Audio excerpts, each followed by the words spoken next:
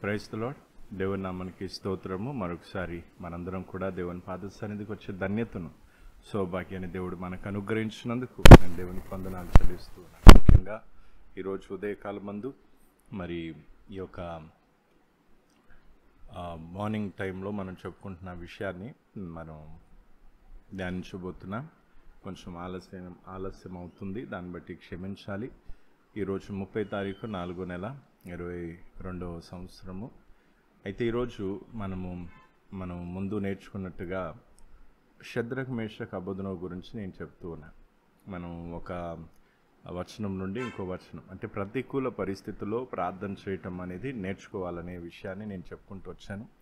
దాని నుంచి తర్వాత మనం ఆ విధంగా ప్రార్థించినప్పుడు దేవుని చిత్తానికి సమర్పించుకున్నప్పుడు ఏ ఏ విధంగా మనం సిలువ మోయాల్సి వస్తుంది సిల్వను మోయటానికి మనకు మనం ఎలా సెల్ఫిష్ ఇంట్రెస్ట్ని విడిచిపెట్టాల్సి ఉంటుంది. ఇవన్నీ కూడా నేను చెప్పుకుంటూ వస్తూ ఉన్నాను. అయితే ఇప్పుడు ఈ యొక్క శద్రగ్ మేషక్ అబద్ధనోగు ద్వారా లేదా వీరి నుండి మనం నేర్చుకోవాల్సింది ఏంటంటే మొదట వీరు అన్నపానాల విషయంలో వాళ్ళు ఏం చేశారంటే సెల్ఫిష్ ఇంట్రెస్ట్ని విడిచిపెట్టారు. సెల్ఫిష్ ఇంట్రెస్ట్ని వాళ్ళు వదిలిపెట్టడం అనేది జరిగింది. అయితే ఇప్పుడు సెల్ఫిష్ ఇంట్రెస్ట్ని వాళ్ళు విడిచిపెట్టిన తర్వాత మనము సెల్ఫిష్ ఇంట్రెస్ట్ని వాళ్ళు విడిచిపెట్టిన తర్వాత దాన్ని అంటే అక్కడ ఆ విషయంలో వారు జయించిన తర్వాత మరలా పెద్ద విషయంలో మళ్ళీ ఏమవుతుంది ఇక్కడ వీరికి అదే పరీక్ష అంటే అదే శోధన అనేది జరుగుతుంది ఏంటి అంటే మళ్ళీ సెల్ఫిష్ ఇంట్రెస్ట్ని లేదా స్వార్థపూరితమైన ఆ ఒక భావాలు లేదా ఏవైతే ఉన్నాయో వాటిని వాటికి మరలా చోటిచ్చే అవకాశాన్ని అక్కడ కల్పించడం అనేది జరుగుతుంది. ఇక్కడ నెబుకద్ నేజర్ రాజుని మనము మనుషుల స్థానాన్ని అంటే ఈ ఈ రాజు స్థానంలో మనుషులను లేదా శాతాన్ని మనం పెట్టవచ్చు అంటే అక్కడ సాదృశ్యంగా మనం చూడొచ్చు. అయితే ఎప్పుడైతే ఒక వ్యక్తి ఒక విశ్వాసి లేదా ఒకరో ఇద్దరో ముగ్గురో ఇట్లా శద్రకి మేషగా అబదును వలె ముగ్గురు విశ్వాసులు అనుకుందాం లేదా ఇద్దరు విశ్వాసులు అనుకుందాం. ఈ విశ్వాసులు ఈ సెల్ఫిష్ ఇంట్రెస్ట్కి చోటు ఇవ్వకుండా మంచిగా నిజాయితీగా యథార్థంగా దేవుని కోసం బ్రతకాలని అనుకున్నప్పుడు ఏం జరుగుతుందంటే ఒక విషయంలో నీవు జయించవచ్చు అంటే ఒక విషయం ఒక సెల్ఫిష్ ఇంట్రెస్ట్ని విడిచిపెట్టావు. అది ఆహారం విషయం కావచ్చు లేదా బట్టల విషయం కావచ్చు లేదా ఇంటి విషయం ఇలాంటివి విడిచిపెట్టుండొచ్చు. అయితే వీటిని ఒకవేళ ఈ విధంగా మనం వదిలిపెట్టేసినప్పుడు లేదా వారు ఆ విధంగా విడిచిపెట్టినప్పుడు ఏం చేస్తారంటే మనుషులు అంటే గర్విష్ఠులు ఏ విధంగా అయితే నిబుకద నేజర్ రాజు వలె గర్వాంధులు ఉంటారు దేవుని దేవునికి లోబడని వాళ్ళు ఉంటారు వీళ్ళు ఏం చేస్తారంటే ఇలాంటి వారిని లోపరచడానికి ప్రయత్నం చేస్తారు. ఏ విధంగా? వారి అభిప్రాయాలకు లేదా వారి ఇష్టాలకు లేదా వారి యొక్క ఏవైతే ఆలోచనలు ఉన్నాయో వాటికి వీరిని లోపరచడానికి ప్రయత్నం చేస్తారు. ఒకటి. రెండవది ఏంటంటే సాతాన్ని ఇక్కడ కూడా మనం చూడొచ్చు. ఈ సాతాన్ ఏం చేస్తాడు? సాతాను వీరు ఎలాగైనా సెల్ఫిష్ ఇంట్రెస్ట్ని విడిచిపెడుతున్నారు. ఒకవేళ వీరు ఈ సెల్ఫిష్ ఇంట్రెస్ట్ని లేదా ఈ స్వార్థాన్ని విడిచిపెట్టేస్తే వీళ్ళు నాకు ప్రమాదం. నా రాజ్యానికి ప్రమాదం. కాబట్టి వీరిని ఏం చేయాలి? ఏదో విధంగా వీరిని ఈ సెల్ఫిష్ ఇంట్రెస్ట్ని మరలా వారిలో తెచ్చుకునే విధంగా అందుకే సాతాన్ ఏం చేస్తాడు? ఎవరిలో స్వార్థం ఉందా చూస్తాడు. ఎవరిలోనైనా స్వార్థం ఉందనుకో కొంచెమున్నా లేదా సగమున్నా లేదా ఇంకెక్కువ ఉన్నా సరే స్వార్థం ఉండేసరికి వా- ఆ సాతానికి ఏమనిపిస్తుంది ఆ సరేలే. వీరి ద్వారా నాకు ఎలాంటి ప్రమాదం లేదు. వాళ్ళ కోసం వాళ్ళు బ్రతుకుతారు. వీళ్ళు దేవుని కోసమనో లేదా దేవుని రాజ్యం కోసమనో లేదా నశించిపోతున్న ఆత్మల కోసమనో వీళ్ళు ప్రయాసపడరు. కాబట్టి వీళ్ళతో నాకేం బాధ లేదు. అనేసి సాతాన్ ఏం చేస్తాడు? వారిని వదిలేస్తాడు అలాగే. వేరే పనులు చూసుకుంటాడు.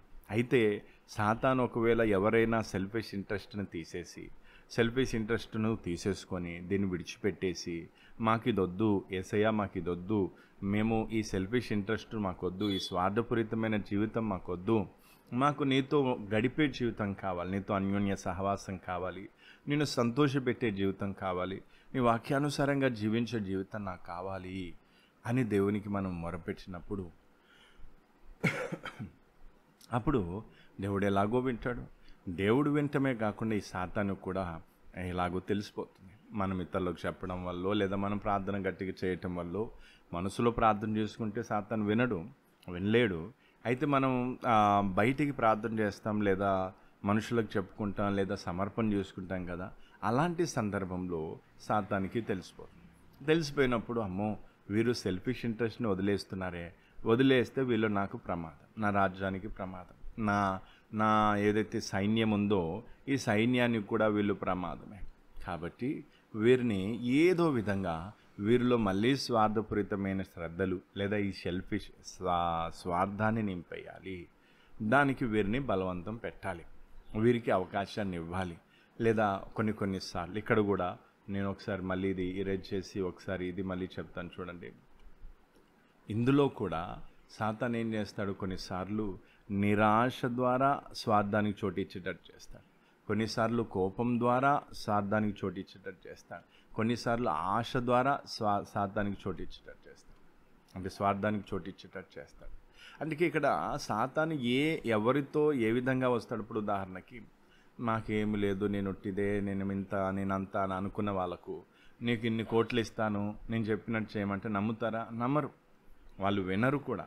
అందుకే సాతాన్ ఏం చేస్తాడు? ఇంకా నిరాశ అవును నువ్వు వింతే నువ్వు అంతే మరి బ్రతికిన కొన్ని రోజులైనా మంచిగా బ్రతకొచ్చు కదా ఎంజాయ్ చేయొచ్చు కదా అదిగో వాళ్ళు చూడు ఎట్లా ఏదో గర్ల్ ఫ్రెండ్స్ని వేసుకొని తిరుగుతున్నారు ఏదో బాయ్ ఫ్రెండ్స్ని వేసుకొని తిరుగుతున్నారు వాళ్ళు ఎంత ఎంత రెచ్చిపోతూ ఉంటారు. ఓ వాళ్ళలాగా నువ్వు కూడా బ్రతికేయచ్చు కదా కొన్ని రోజులే కదా అన్నట్టుగా వారిని ఇంకా నిరాశపరిచి మ- మ- మనస్సును మళ్ళించడానికి ప్రయత్నం చేస్తారు. కోపం. కొంతమందికి ఏముంటుంది? దేవుని మీద కోపం వస్తుంది. కేయిని కేయిన్ వల్లే దేవుని మీద కోపగించుకుంటారు పరిశుద్ధుల మీద కోపగించుకుంటారు కుటుంబీకుల మీద కోపగించుకుంటారు. ఆ కోపము ఏం చేస్తుందంటే ఈ కేయిన్ ఏ విధంగా అయితే సొంత తమ్ముని చంపేటట్టుగా దారి తీసిందో ఆ విధంగా వీళ్ళు ఏం చేస్తారు? కోపం వలన నేను నాది అనేది ఇంకెక్కువగా చోటిచ్చి నేను బాగుండాలి నాది బాగుండాలి అనుకుంటూ వీళ్ళు ఏం చేస్తారు? పరిగెత్తుంటారు కాబట్టి మళ్ళీ కొంతమందిని ఆశ చూపించడం. ఇదిగో నీకు ఇది ఇస్తాను అది ఇస్తాను ఇలా ఉండు నువ్వు అలా ఉండు అని ఆశ పెట్టడం. అంటే ఏ విధంగానైనా మళ్ళీ ఈ స్వార్థాన్ని వీరిలోనికి తెచ్చుకునే విధంగా మరలా వీరిలోనికి ఆ స్వార్థం మళ్ళీ వచ్చే విధంగా సాతాను ప్రయత్నం చేస్తాడు. లేదా మనుషులు కూడా కొంతమంది మనుషులు ఏం చేస్తారంటే మనం నీతిగా నిజాయితీగా బ్రతుకుతున్న విషయం వారికి తెలుసు. వీళ్ళు పరిశుద్ధంగా బ్రతుకుతున్నారు వీరు దేవుని కోసం బ్రతుకుతున్నారనే విషయం వారికి తెలుసు. తెలిసినా కూడా వీళ్ళు ఏం చేస్తారంటే తమ గర్వాన్ని బట్టి అంటే వీళ్ళు ఎలాగో వీళ్ళు వీళ్ళు ఆత్మీయంగా మంచిగా లేరని సంగతి వారికి తెలుసు. వీళ్ళు ఆత్మీయంగా మంచిగా ఉన్నారని వాళ్ళ సంగతి వాళ్ళకి తెలుసు. కాబట్టి వీళ్ళు ఏం చేస్తారు? మాటల చేత్తో లేదా ఏదో విధంగా వీరిని చెడగొట్టడానికి ప్రయత్నం చేస్తారు. బుద్ధిపూర్వకంగా చెడగొట్టడానికి ప్రయత్నం చేసినప్పుడు వీళ్ళేమైతున్నారు అక్కడ? వీళ్ళు మెలకుగా ఉండి ఆ స్వార్థానికి లేదా ఈ చెప్పుడు మాటలకు లేదా ఈ చెడగొట్టే మాటలకు చోటివ్వకపోతే వీళ్ళు స్వార్థానికి చోటివ్వకుండా దేవునిలో ముందుకు సాగే అవకాశం ఉంటుంది. కాబట్టి ప్రేమైన దేవుని బిడ్డ ఈరోజు నేను నేను చెప్పేది ఏంటంటే మనుషులైనా సరే నిన్ను చెడగొట్టడానికి మనుషులైనా సరే లేకపోతే సాతానైనా సరే నిన్ను ఏం చేయడానికి? ఈ సెల్ఫిష్ ఇంట్రెస్ట్ నుంచి నువ్వు దూరంగా వెళ్ళిపోవడం లేదా సెల్ఫిష్ ఇంట్రెస్ట్ని విడిచిపెట్టడం అనేది సాతానికి ఇష్టం ఉండదు. సాతానికి ఇష్టం ఉండదు. అందుకే దయచేసి ఈ విషయాన్ని దృష్టిలో పెట్టుకోండి. ప్రార్థనాపూర్వకంగా ముందుకు సాగండి. అందుకే ప్రార్థన చేయండి. దేవుడు మిమ్మల్ని ప్రేమిస్తూ ఉన్నాడు కనుక ఈ యొక్క ఈ యొక్క సెల్ఫిష్ ఇంట్రెస్ట్ నుంచి మిమ్మల్ని విడిపించాలని కోరుకుంటున్నాను. అందుకే ఈ విషయాన్ని దృష్టిలో పెట్టుకోండి. ప్రార్థన చేయండి. పరిశుద్ధుర తండ్రి నీ కొంటున్నాను ఈ మాటలు ఒక్కొక్కరు హృదయాల్లో నిరికట్టి ఫలింపచ్చు. దుర్మార్గులు గర్విష్ఠులు ప్రభు మరి అలాగే సాతాను సాతాను సైన్యం కూడా మమ్మల్ని ఏ విధంగా సెల్ఫిష్ ఇంట్రెస్ట్ నుంచి మరి దూరంగా వెళ్తున్నప్పుడు మళ్ళీ అందులోనికే తీసుకొని రావటానికి అందులోనికి ఈడ్చుకొని పోవడానికి ప్రయత్నం చేస్తున్నాడు ప్రయత్నం చేస్తాడు. మేము విన్నాం నాయన ఈ విషయంలో జాగ్రత్తగా ఉండే కృప మమ్మల్ని అందరినీ కూడా నీ చేతికి అప్పగిస్తే ఇంతవరకు కాపాడే ఇక మీద కూడా తోడేవి నడిపించు ఈ మాటలు ఒక్కొక్కరి హృదయాలు నీరు కట్టి ఫలింపచ్చు యేసుక్రీస్తు నామలు అడిగి వేడుకుంటున్నాను తండ్రి. ఆమె ప్రభు యేసుక్రీస్తు కృప దేవుని ప్రేమ పరిశుద్ధాత్మక సావాసం మనందరి సదాకాలం తోడే ఉండను గాక ఆమె